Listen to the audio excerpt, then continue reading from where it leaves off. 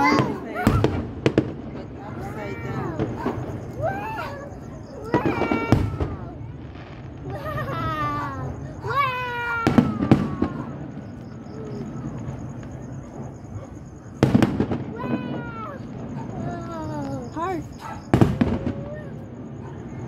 How about that?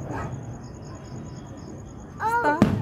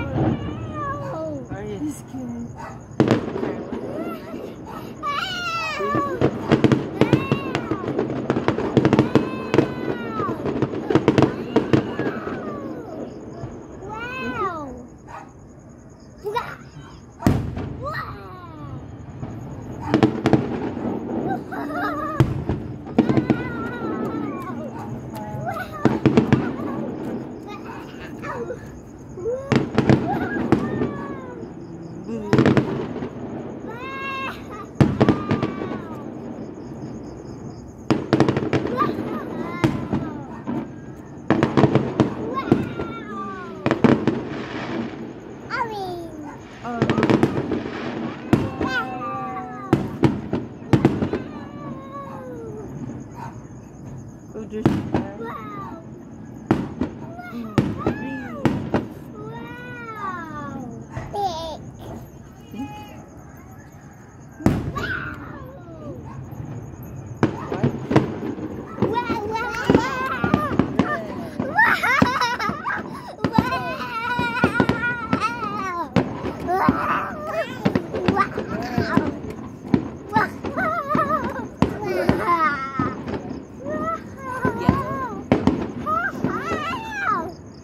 This one's so bad.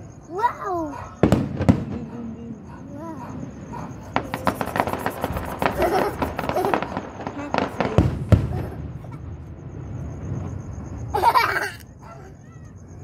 wow.